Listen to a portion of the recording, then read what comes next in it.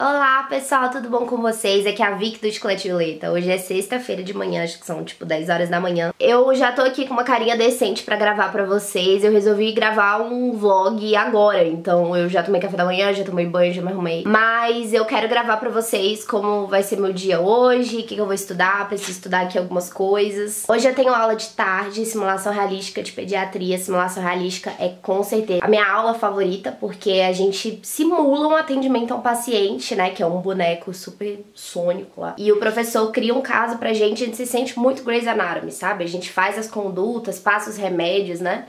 E vai mudando, às vezes o paciente de mentirinha melhora, às vezes ele morre, às vezes, ai, sei lá, é muito legal, muito, muito legal. E como eu tô tendo rodízio de pediatria, né, de neonatologia, que é a que cuida dos recém-nascidos, a gente vai ter uma simulação realística hoje de pediatria, né? Que eu, no caso, acho muito difícil, mas tudo bem. Mas eu tenho algumas coisas para estudar hoje, né? Eu tenho uma tutoria de pneumo para fazer sobre doença pulmonar obstrutiva crônica, que é uma doença muito comum em tabagistas, aquelas pessoas que fumam 50 anos, sabe? Normalmente desenvolvem essa doença que é o famoso enfisema e a bronquite crônica. Eu tenho que terminar minha tutoria sobre isso. Você não sabe o que é tutoria?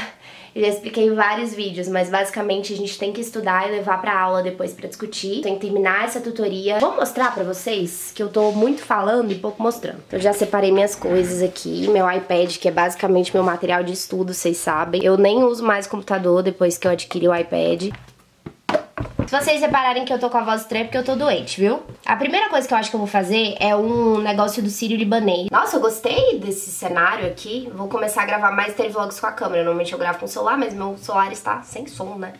Por isso que eu estou distante dos stories pra vocês, né? Porque eu não consigo gravar, né? Eu tenho esse, esse programa, que é o Experiência Sírio Libanês. Não estou fazendo propaganda, quem dera, inclusive. Sírio Libanês me contrata. eu adoro esses programas, eu adoro esses cursos, eu faço vários, inclusive nas férias eu gosto muito de fazer. São cursos online, né? E tem essa experiência Sírio Libanês que eu queria participar desde o ano passado. Aliás, enfim, desde que eu ouvi falar, acho que foi ano retrasado do ano passado. Só que aí eu resolvi fazer agora. Toda semana tem uma aula com um especialista de 10 a 15 minutos no máximo.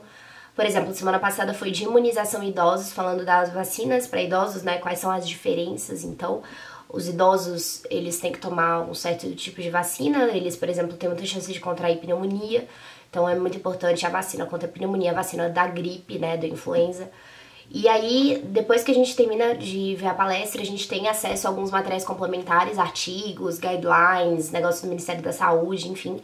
E aí a gente lê esses materiais complementares e a gente tem que, tipo, escrever um relatório, responder uma pergunta, né? Então, no caso dessa semana, a pergunta foi: ah, o senhorzinho de 86 anos, ele tem problema no coração, é diabético, como é que é o esquema de pneumonia vacinal contra a pneumonia para ele? Aí a gente tem que ir lá ver as anotações da aula, pesquisar como é que é o esquema vacinal de pneumonia para o idoso, e aí a gente vai lá e responde. Eu tenho até, hoje é sexta-feira, 11 e 10, inclusive, eu achei que era 10 horas da manhã. É muito legal, assim, muito, muito legal mesmo. Eu tenho até, a gente tem uma semana para fazer, eu, hoje é sexta-feira, eu tenho até domingo, 8 horas da noite para entregar. Eu ontem organizei meu TCC, vou fazer um tema relacionado à cirurgia plástica e choco um total de zero pessoas, né? Mas tem a ver também com mastologia, né? Tem a ver com mama, é, sei lá, tô muito animada. A gente teve uma aula sobre TCC, então para quem não sabe, eu tô no quarto ano da faculdade de medicina, são seis. Como nos dois últimos anos a gente só tá no hospital, no curso de medicina a gente tem o TCC no quarto ano, pelo menos na minha faculdade, né? Tem algumas faculdades que não tem TCC no curso de medicina, porque nunca teve, sabe? Nunca teve TCC no curso de medicina. Agora eles colocaram, mas enfim. Eu não tenho muito problema com isso de produção científica, inclusive eu gosto. É, então eu tô animada, assim, é um tema, eu escolhi um tema que eu gosto muito. Eu já organizei aqui um documento com título, palavras-chave, qual a linha de pesquisa, quais são os objetivos, mas só um rascunho assim para mostrar pra minha orientadora maravilhosa, inclusive, mastologista. Então, peraí, vou, vou mostrar pra vocês o negócio de libanês, pera. Aí o que que eu faço? Eu abro aqui, aí tem a apresentação, Dr. Sérgio Mancini, tem 11 minutos de aula, tá vendo? Aí eu abro aqui, ó, Docs, que vocês sabem que eu amo, uso. Tenho várias anotações aqui. Entre os primeiros, sendo o oitavo em incidência.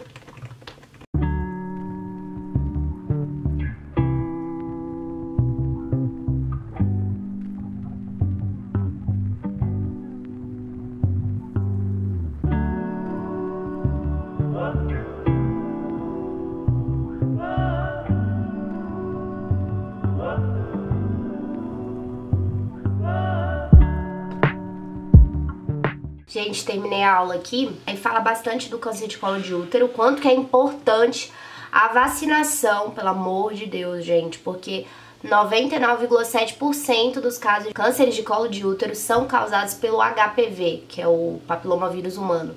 Então, vacinem as crianças, vacinem as pessoas, vacinem os adultos, vacinem todo mundo, tá? É uma coisa boa vacina, pelo amor de Deus, vamos parar com essa história de movimentos anti-vacina, pelo amor de Deus, tá? E muito importante fazer o Papa Nicolau, tá? Todo ano, ou segundo a recomendação do seu ginecologista. Então, vou ver aqui o fórum. Gente, tá tendo obra, tá tendo cachorro, socorro tá dando um caso de uma mulher de 26 anos com diagnóstico de câncer de colo de útero com metástase. A cirurgia proposta foi suspensa, né? Porque descobriram na metástase e a paciente foi encaminhada para radioterapia com quimioterapia.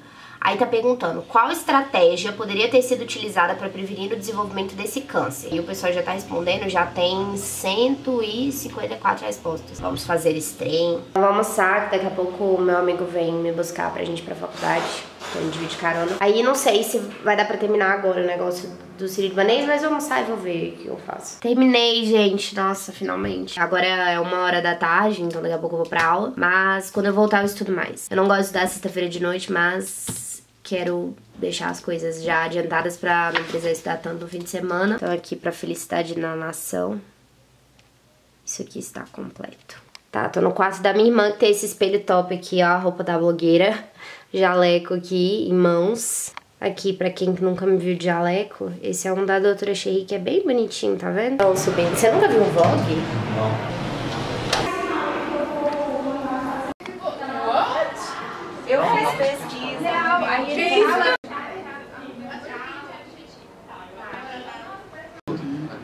Não, no Agora tinha quatro, né? Deu febre? Não. Gente, cheguei em casa, graças a Deus. Eu vou confessar pra vocês, eu vou ser bem real aqui, porque vocês veem só eu falando, ai, que coisa maravilhosa, gosto muito do curso, não, que é muito verdade. Mas, mano, tem partes que eu fico assim, meu Deus, será que eu sirvo pra ser médica? será que eu vou conseguir fazer essas coisas? Porque tem coisa muito difícil, tem coisa muito difícil, sério. Ah, porque você tem que dar tal dose do medicamento, se passar de tal coisa, a pessoa tem um, um problema cardíaco e você tem que diluir em tanto de. Meu Deus, sabe? É muita coisa, é muita informação. Dá um medo horrível. E eu falo com médicos já formados e tal, ou pessoas que vão se formar agora em medicina ou outros profissionais da área da saúde e as pessoas me falam isso, que dá esse desespero, que você fala que você não sabe nada, que você sente como se você não soubesse nada. E realmente, assim, é uma área muito. É uma, um curso muito amplo, são muitas coisas e a gente não, não tem como saber de tudo, né? Mas é, eu tive esse, essa impressão que, meu Deus, eu não sei nada. Porque tinha muita coisa que eu estudei há dois anos, há um ano, e que eu tinha esquecido. Então, que veio de volta nessa simulação, nessa aula, e eu ficava, meu Deus do céu. Eu queria sair para algum lugar e tudo, né? Mas tô doente. Não, não dá. Não dá para sair desse jeito que eu tô, eu tenho que repousar. Agora eu vou jantar e depois eu volto a estudar.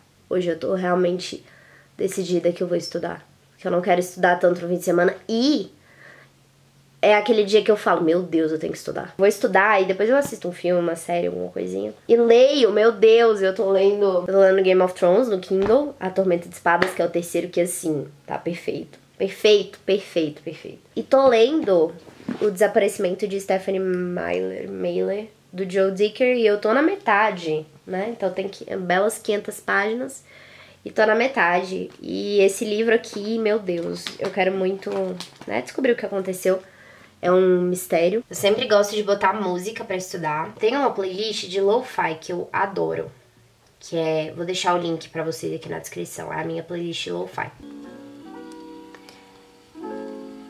Vamos estudar.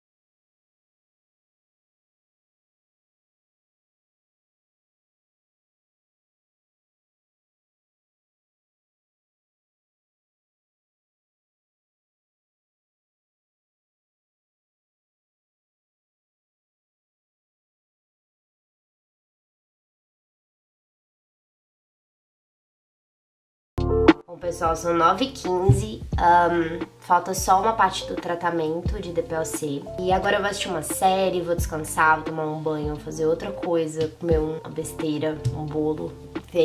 Espero muito que vocês tenham gostado de acompanhar meu dia. Me falem aqui o que vocês gostam, né? Se vocês gostam de quando eu trago essas informações pra vocês se tem alguma coisa que vocês querem ver mais nos vlogs, tanto nos vlogs de estudo, quanto nos de leitura, quanto nos med vlogs. Quero muito saber a opinião de vocês, vocês que mandam aqui, tá bom? Então comentem aqui, não se esqueçam de comentar. Se inscrevam no canal, clica no sininho para receber todas as notificações, clique em gostei se você gostou do vídeo. Me siga lá no Instagram, arroba. Então vou lá aproveitar minha sexta-feira, aproveitem o dia de vocês também. E um grande beijo. Tchau, tchau!